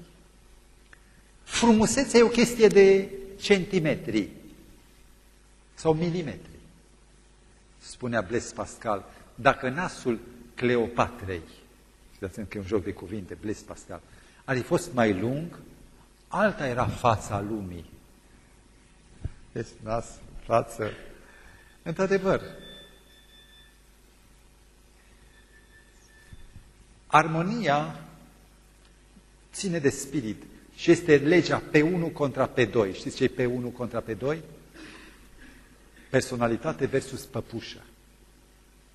X a luat o păpușă și o lăsat-o. De ce? Că era goală pe dinăuntru. Altul a luat o personalitate și tot timpul nouă și îndrăgostit. ăsta eu și sunt fericit. Hai să vă spun o istorie medievală. Vreți? Nu vă spun. Mai departe. Cum? Așa băieți, treziți-vă. Ă, noi stăm până la 12 de obicei, așa -i? Mâine nu avem servici, așa -i? Da, mulțumesc lui Dumnezeu că îmi dă putere.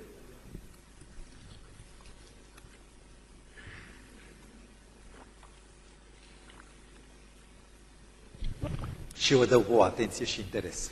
Vă mulțumesc. Mulțumesc frumos. Da. Luați și asta, că nu mai întrebe. Mulțumesc. Am luat doar pentru energizare. Așa. Auziți? În Nürnbergul de altă dată, Nürnberg, Germania medievală, Walter von den Vogelweide, un neamț dintr-o familie de breslași, tată său șef de breaslă la tăbăcari, erau pielari, curelari, zidari, aveau turnuri, bastioane, ei se îngrijeau de cetate. De aici vine cetățean, de la cetate. Ei aveau grijă cetății. Zice, tată, tată, băiatul de 25 ani, ce este fiul meu, Walter? Tatăl scria ceva pe niște crisoave, calcule, contabilitatea Brestei. Tată, măsor, vreau să măsor. E, e, și stai jos să vorbim. Și băiatul își ca mâinile. spune cine este Bibilica? Și, o, tată, este Lisbeth. Îmi pare rău, nu cunosc nicio fată, eu nu mă ocup de fete. Descrie-mi eu. Ah. Dacă ai avea ce, dacă ai vedea ce frumoasă este. Stai, stai, stai, stai. A scos pana și că a suțit-o, a, a băgat-o în călimare și acum a luat-o foaie nouă zi. Mai zi odată. Tată, este de o frumusețe. E brunetă cu ochii albaștri. Și stai. Zero. Băiatul nu înțelege, da? Tata. Mai spune altceva de fată, că până acum, dacă știi tu ce frumos se îmbracă. Are cele mai frumoase dantele și gustul. Stai, stai. Zero. Tată, da. Nu, nu, spune mai departe, că zic. Da, cântă, când cântă, cum cântă frumos. Zero. Tată, pentru tine asta nu contează. Spune fiului mai departe. Gătește minunat. Zero. Da, și băiatul din ce în ce mai chinuit și scrie poezii. Zero, călărește zero, zero și se păi bine, bine, tată, se scoală și Walterul chinuit. Dar tu ești de lemn? Nu ai fost și tu tânăr? Toate astea n-au nicio valoare? Și spune, fiule, ai spus că vrei să te însori? Da, tată. Păi tu nu te însori cu o păpușă, ca să fii frumos. Tu e o nevastă. Tu te însori cu un manechin să aibă haine. Nu te însori cu bucătăreasă să-ți gătească. Nici cu o cântăreață. Nu? Tu te însori cu o nevastă. Nu mi-ai spus nimic de nevastă. Iartă-mă, tată, am uitat. E cea mai credincioasă fată din biserică. Și tată ia pixul la pana și pune un 1 în fața zero și spune, băiete, ai o fată de milioane. Chiar de milioane. Da. Băieții mei, păpușa contra personalitate. Cei care vă uitați la păpușă, s-ar putea să fie și frumoasă, nu trebuie să fie și că regina nopții, noaptea, nu trebuie să fie regina nopții ca să fie bună. Înțelegeți? Poate să fie regina zilei și a luminii. Dar dacă are caracter, ăsta trebuie să fie. Nu că îmi place, ci că este un om al lui Dumnezeu. Voi vă însurați nu cu o păpușă, nici cu o cadână, nici cu o vampă. Vă însurați cu un suflet, cu un om cu care trebuie să vă asociați pe toată viața și să vă înalțe, să vă ridice. Capitolul 10, mai avem 4, 5. Legea căsătoriei aranjate de sus. Vreau să vă întreb un lucru. Credeți că noi alegem sau Dumnezeu? E, acu acu. Acu acu. Nu știu dacă aici apare, dă mai departe, Nea Ionel. Nea Ionică îl cunosc. Și Nea Ionică, prezbiter, om cu greutate, de undeva, știți și voi, din România. Nea Ionică zice, a venit uh, un băiat și spune, Nea Ionele, cum e cu căsătoria? Noi alegem sau Dumnezeu? Și Nea Ionică zice, auzi băi, aici Dumnezeu nu se bagă, aici tu alegi. Și a venit băiatul la mine, speriat, Cum, cine alege, frate pastor, uite că mi-a zis Neonică, și am zis, te-ai uitat la familia lui? Măcar că era prezbiter, trăiau ca câinele cu pesica. Ca doi pești într-un borcan, care i-a pus cineva și când unul era jos, altul era sus, și când unul era sus, altul era jos, că nu se putea înghiți. Uite așa. Copiii lui praștie. El e om de treabă, nu e un om rău. Dar nu-și suportă nevasta. Și îți vezi, el, crezul lui este că omul și-o face și el și-a făcut-o. Aici, cu adevărat, a avut dreptate. Dumnezeu nu l-a băgat, nu, nu l-a implicat pe Dumnezeu. Ce scrie în Geneza 24 cu 14 și 44? Cine știe îmi spune. Da, dar ce scrie? Dau o bucată de ciocolată fără zahăr. Cum? Nu, nu, ce zice în textul ăla, asta te rog, ai Biblia. Nu, no, lasă, iubito. Ce scrie?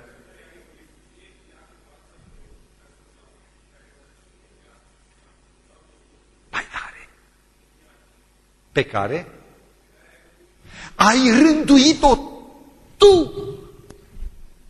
Deci, cea care îi spune, pleacă, vada, și care ea va zice așa, să fie cea pe care, ziceți, Dumnezeu rânduiește în cer căsătoria.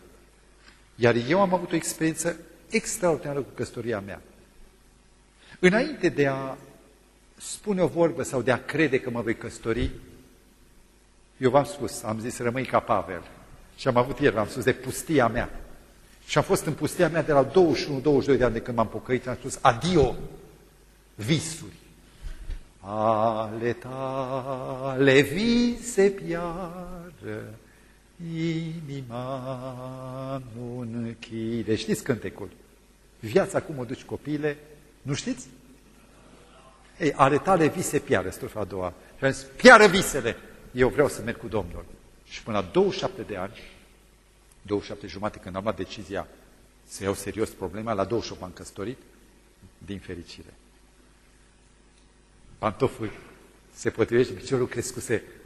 Am avut picior de matur, nu de copil. Eu n-am avut nici un fel de contact, de curtenie, de intenție cu nicio fată. Chiar dacă din prostia mea am dat uneori de înțeles, uneori, dar n-a avut nicio acoperire. Dumnezeu e martor și și ele știu. Acum, când vedeam pe cea care acum e soție, în simplitate. Nu a fost o frumusețe, etalare, dar se vede bunătatea transpirând prin ea, care nu căuta să pară cu nimic, cu nimic, cu nimic, cu nimic, cu alunițe și nimic.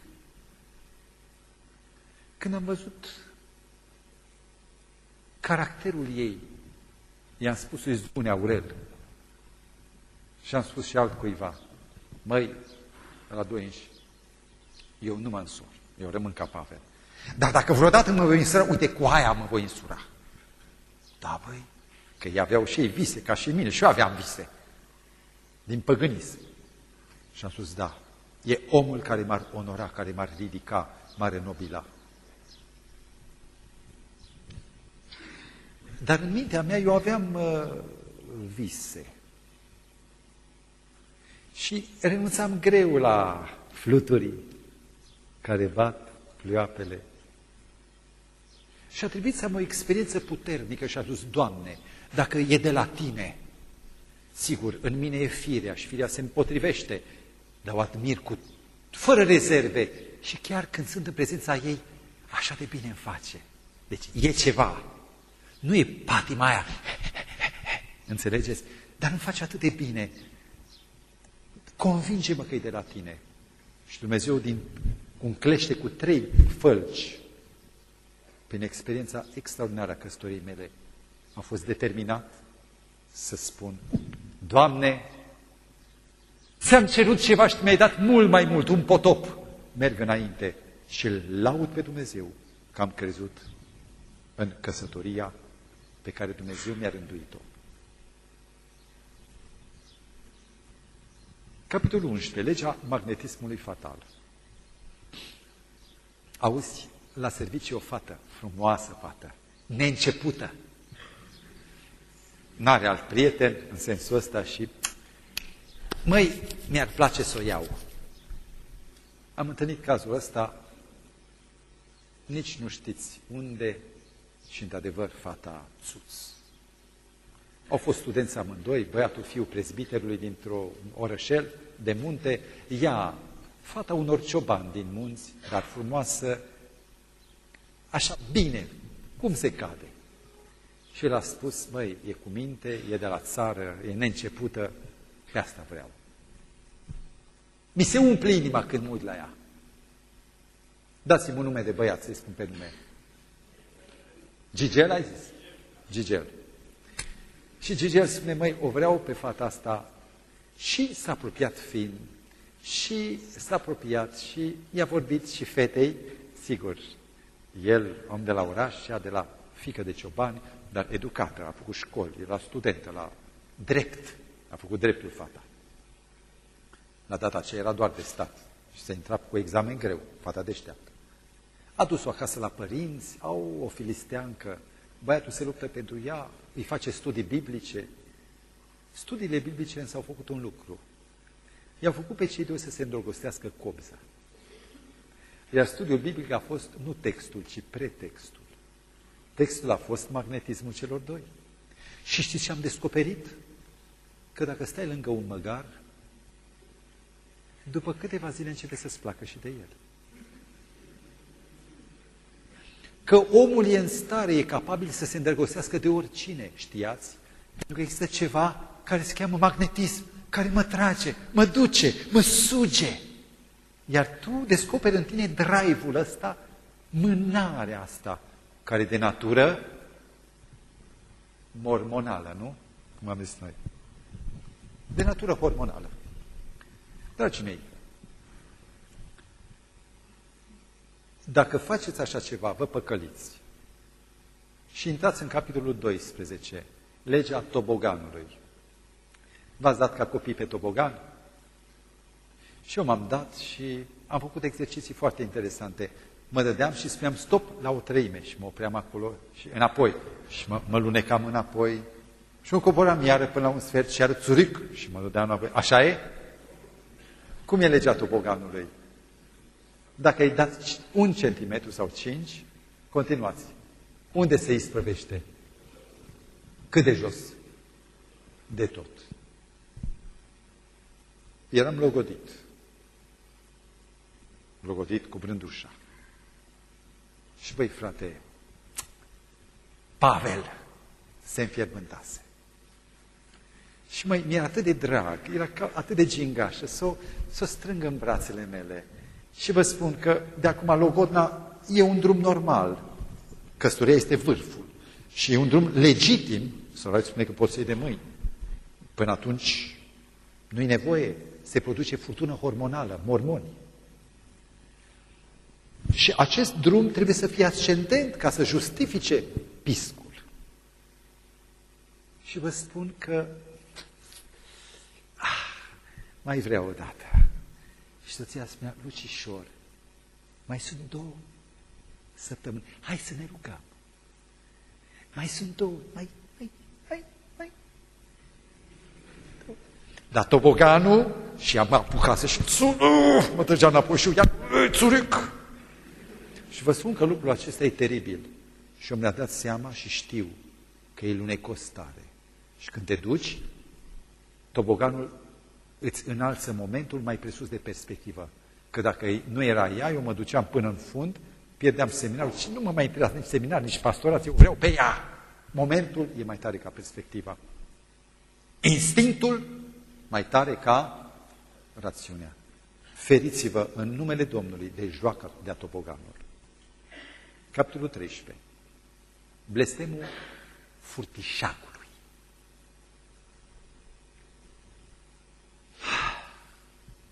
să vă spun eu. Mama mea, ardeleancă, unguroaică, făcea prăjituri, mai băieți, câte 16 feluri. Și de alea și de la alte și așa, și așa, toate felurile. Da. Tu mă înțelegi că ești ardelean, manule. Și noi am fost destul de săraci. Noi n-am avut niciodată bani. Iar dacă aveam, strângeam bănuți mici, că n-am avut. Tata era inginer și la data aceea, în comunism, la început, inginerul era considerat banditul de inginer, burghez. Dar tata a fost orfan de ambii părinți și nu conta asta. Dacă e inginer, ești, ești burghez. Și aveau salarii mai mici inginerii decât muncitorii. Era o chestie politică pentru echilibrarea uh, ideologiei. Și vă spun, mama întotdeauna a avut grijă ca o dată pe săptămână, o dată la două săptămâni să facă prăjituri. Și știți că prăjiturile erau făcute cu mânuța ei, costau bani și spunea copii, mâncăm doar când pun eu la masă și atunci una.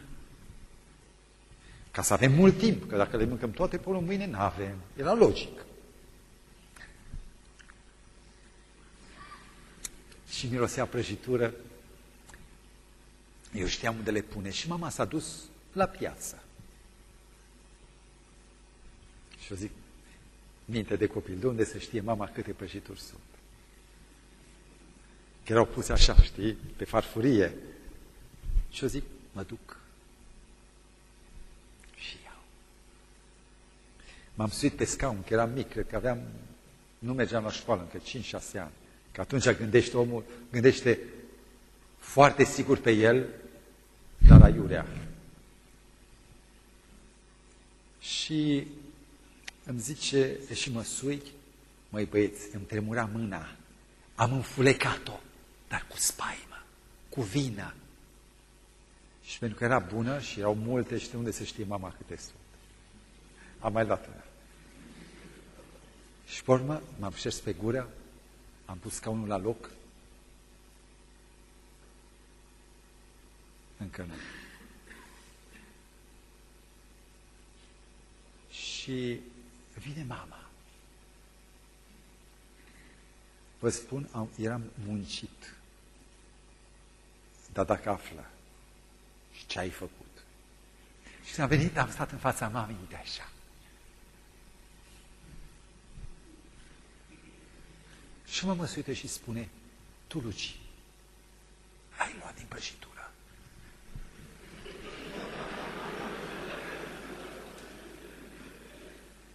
Vă dați seama ce a urmat? Mi s-a tăiat rația la toată farfuria. Eu nu mai mă uitam și jinduiam. Și nu mi s-a mai dat nici una, pentru că am furat. Și Dumnezeu spune, nu-i tot al tău? Nu pentru tine am făcut mireasa. De ce să o furi? Eu ți-o dau, îți dau și binecuvântare și ți-o mulțesc. Să o ai tot nouă, dar nu fura. E pentru tine. cere eu. Vine timpul și îți dau, ne rugăm. Și ea ta, nu e a ta. De ce să o furi? Și vei fi nenorocit și nu vei mai avea parte ca mine. Ă, băiatul meu, că vă spun de astea că au trăit, nu că sunt grozav, sunt ca, exact ca voi. Dar băiatul meu și l-aș luat jurământul că până nu va fi mare, nu va avea nicio fată. Nu l-a dus capul. El e mai liniștit. Irina era mai zbârlugă. Și la un moment dat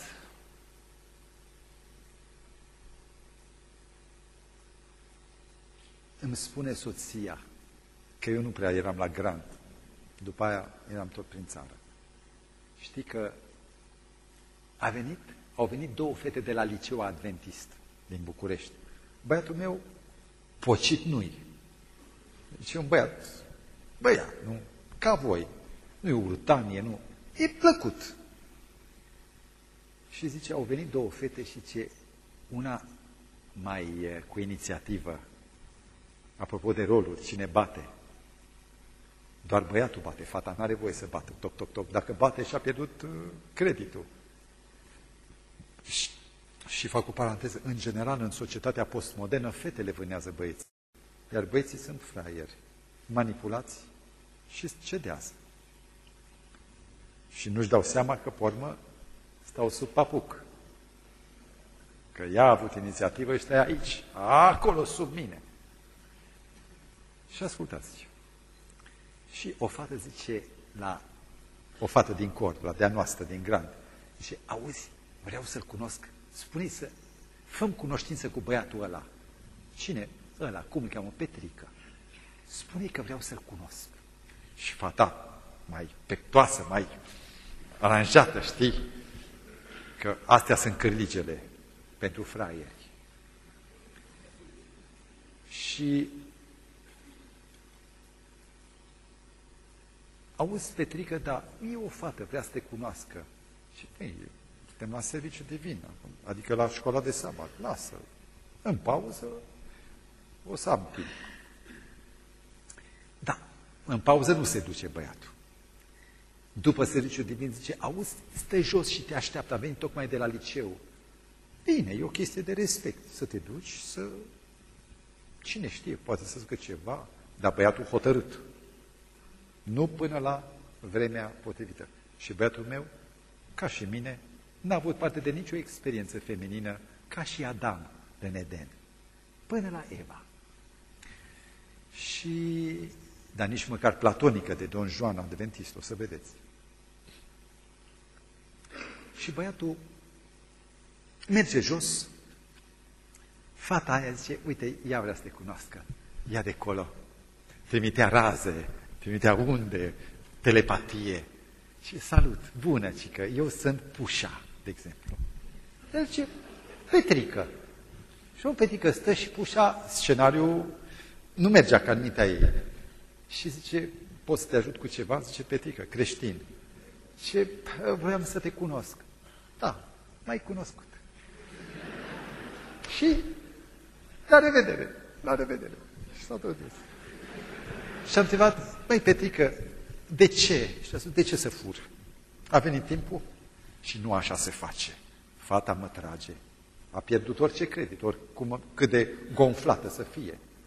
Nu are nicio, nicio treabă.